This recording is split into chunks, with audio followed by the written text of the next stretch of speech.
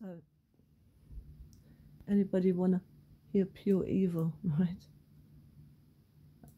Uh, I'm a fan of the Lotus Eaters.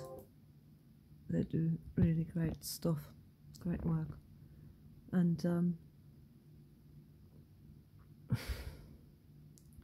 these are panelists that they're going through, right, on um, public uh, I, I, can't I don't know whether it's radio or, or TV I think it's TV stations right?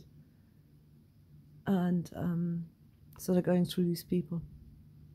And then they're mentioning the Economist magazine. And uh, you can hear some real it's pure evil.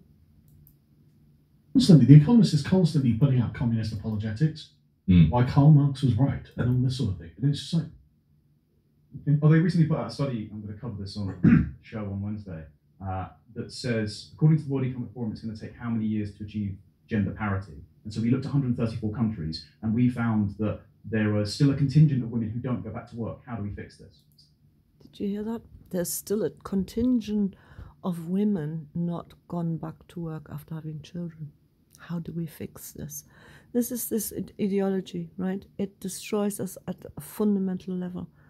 We are tribal, we thrive best in small family groups where we give each other security, we bond strongly.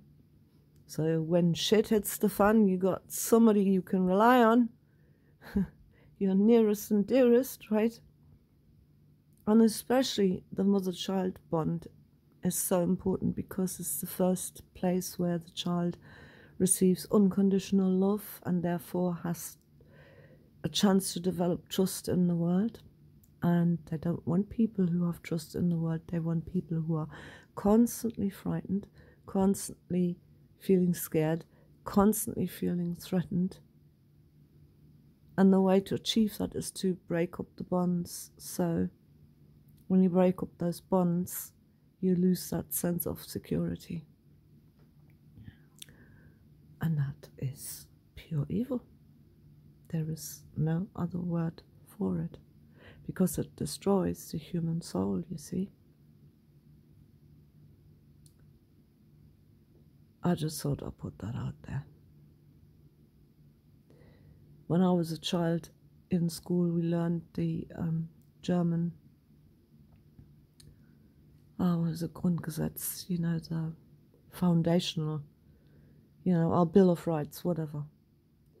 And the first preamble was the smallest unit in a state is the family, and it is therefore in the utmost interest of the state to protect that smallest unity, the family. Is supposed to be under state protection.